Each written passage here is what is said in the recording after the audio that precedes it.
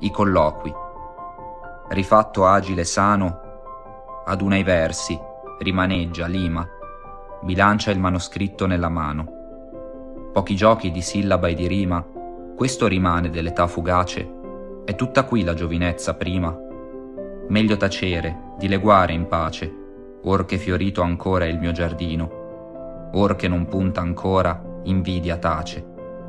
Meglio sostare a mezzo del cammino, or che il mondo alla mia musa maldestra, quasi a mima che canta il suo mattino, soccorrevole ancor, porge la destra.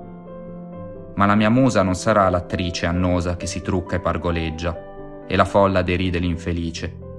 Giovine tacerà nella sua reggia, come quella contessa Castiglione bellissima di cui si favoleggia. Allo sfiorire della sua stagione disparve al mondo, sigillò le porte della dimora e ne restò prigione. Sola col tempo, tra le stoffe smorte, attese gli anni, senza amici, senza specchi, celando al popolo, alla corte, l'onta suprema della decadenza L'immagine di me voglio che sia sempre ventenne, come in un ritratto. Amici miei, non mi vedrete in via curvo dagli anni tremulo e disfatto. Col mio silenzio resterò l'amico che vi fu caro, un poco mentecatto.